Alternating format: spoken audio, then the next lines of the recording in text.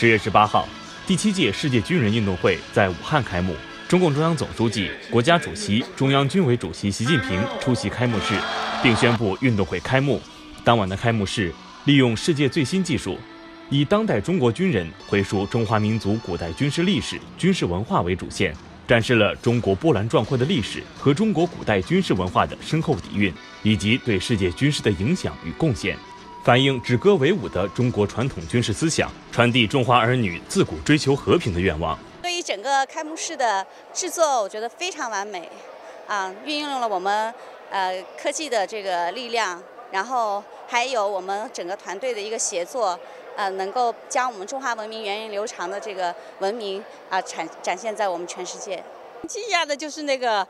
呃《清明上河图》吧，讲中国文化历史啊那一段。呃，非常神奇。然后那个舞台还出现那个，那黄河啊、水啊什么的，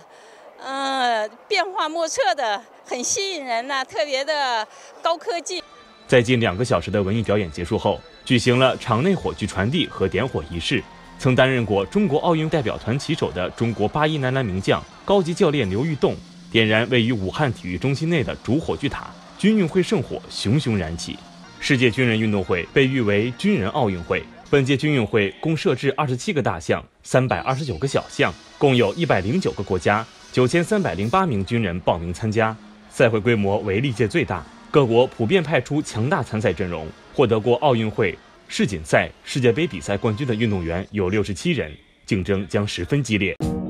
更多精彩尽在中国新闻网客户端。